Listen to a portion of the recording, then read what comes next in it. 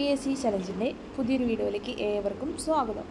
അപ്പോൾ ഇന്നത്തെ വീഡിയോയിലൂടെ നമ്മൾ നോക്കാൻ പോകുന്നത് രണ്ടായിരത്തി ഇരുപത്തി മൂന്നിൽ നടന്ന കാറ്റഗറി നൂറ്റി പതിനൊന്ന് ബാർ രണ്ടായിരത്തി ഇരുപത്തി മൂന്ന് വുമൺ പോലീസ് കോൺസ്റ്റബിൾ എക്സാമിന്റെ ക്വസ്റ്റ്യൻ പേപ്പറും അവയുടെ ഫൈനൽ കീ പ്രകാരമുള്ള ആൻസേഴ്സുമാണ് അപ്പോൾ നമുക്ക് ക്വസ്റ്റ്യൻസ് നോക്കാം.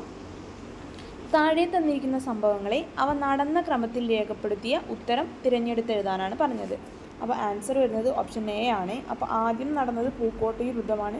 അതിനുശേഷം നിവർത്തന പ്രക്ഷോഭം പിന്നീട് കയ്യൂർ സമരം ഏറ്റവും ലാസ്റ്റായിട്ട് പുന്നപ്ര വയലാർ സമരം അപ്പോൾ പൂക്കോട്ടൂർ സമരം നിവർത്തന പ്രക്ഷോഭം കയ്യൂർ സമരം പുന്നപ്ര വയലാർ സമരം.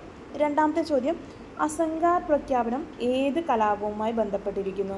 ആൻസർ വരുന്നത് ഓപ്ഷൻ സി ആണ്. ഷിപ്പായി ലഹങ്കിളയാണ് അപ്പോൾ അസംഗാർ പ്രഖ്യാപനം ഷിപ്പായി ലഹളയുമായി ബന്ധപ്പെട്ടിരിക്കുന്നു. മൂന്നാമത്തെ ചോദ്യം താഴെ തന്നിരിക്കുന്ന മുദ്രാവാക്യങ്ങളിൽ സുഭാഷ് ചന്ദ്രബോസ് ബന്ധ ബന്ധപ്പെട്ട് എഴുത്തെഴുതാനാണ് പറഞ്ഞിട്ടുള്ളത്. അപ്പോൾ ആൻസർ വരുന്നത് ഓപ്ഷൻ സി ആണ്. എനിക്ക് രക്തം തരൂ ഞാൻ നിങ്ങൾക്ക് സ്വാതന്ത്ര്യം നൽകാം. അപ്പോൾ ഇങ്ങനെ പറഞ്ഞത് ആരാണ്? സുഭാഷ് ചന്ദ്രബോസാണ്. നാലാമത്തെ ചോദ്യം റഷ്യയിൽ കൂട്ടുകൃഷി സമ്പ്രദായത്തെ എതിർത്ത സമ്പന്നരായ ഭൂ ഉടമാവർഗം ഏത് പേരിലാണ് അറിയപ്പെടുന്നത്? എന്താണ് ആൻസർ?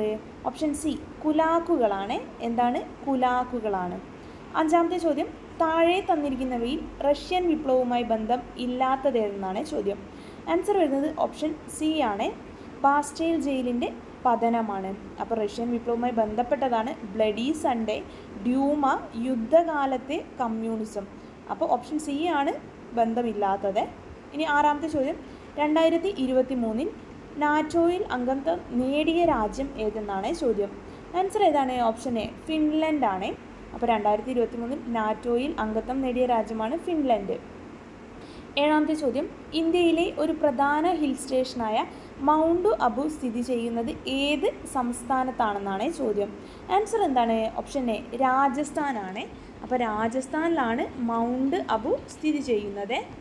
എട്ടാമത്തെ ചോദ്യം. ചുവടെ കൊടുത്തിരിക്കുന്നതിൽ ലാർജ് സ്കെയിൽ മാപ്പ് ഏതെന്നാണ് ചോദ്യം. അപ്പോൾ എന്താണ് ആൻസർ ഓപ്ഷൻ സി കഡസ്ട്രിയൽ ഭൂപടമാണ്. ഏതാണ്? കഡസ്ട്രിയൽ ഭൂപടമാണ് ആൻസർ വരുന്നത്. ഒൻപതാമത്തെ ചോദ്യം. പശ്ചിമഘട്ടവും പൂർവഘട്ടവും സന്ധിക്കുന്ന പ്രദേശം ഏതെന്നാണ് ചോദ്യം? ആൻസർ എന്താണ്? ഓപ്ഷൻ ബി നീലഗിരിയാണ്. ഏതാണ്? നീലഗിരിയിലാണ് പശ്ചിമഘട്ടവും പൂർവഘട്ടവും സന്ധിക്കുന്നത്. പത്താമത്തെ ചോദ്യം ട്രോപ്പോസ്ഫിയർ ഏറ്റവും കൂടുതൽ കാണപ്പെടുന്ന വാതകം ഏതെന്നാണ് ചോദ്യം? ആൻസർ വരുന്നത് ഏതാണ്? ഓപ്ഷൻ ഡി നൈട്രജൻ ആണ്. അപ്പോൾ ട്രോപ്പോസ്ഫിയറിൽ ഏറ്റവും കൂടുതൽ കാണപ്പെടുന്ന വാതകം ഏതാണ്? നൈട്രജൻ ആണ്. പതിനൊന്നാമത്തെ ചോദ്യം പാഞ്ചിയ എന്ന ആശയം ആദ്യമായി അവതരിപ്പിച്ച വ്യക്തി ആരെന്നാണ് ചോദ്യം. ആൻസർ ഓപ്ഷൻ ഡി ആണ്. ആൽഫ്രഡ് വെഗ്നറാണ് പാൻജിയ എന്ന ആശയം ആദ്യമായി അവതരിപ്പിച്ചത്. പന്ത്രണ്ടാമത്തെ ചോദ്യം ഉത്തരായന രേഖ ഇരുപത്തിമൂന്നര ഡിഗ്രി നോർത്ത് കടന്നു പോകാത്ത രാജ്യമാണ് ചോദിച്ചത്. ആൻസർ ഇതാണ് ഓപ്ഷൻ ഡി ന്യൂസിലാൻഡ് ആണ് അപ്പോൾ ഉത്തരായന രേഖ ഇരുപത്തിമൂന്നര ഡിഗ്രി നോർത്ത് കടന്നു പോവാത്ത രാജ്യം ഏതാണ്? ന്യൂസിലാൻഡാണ്.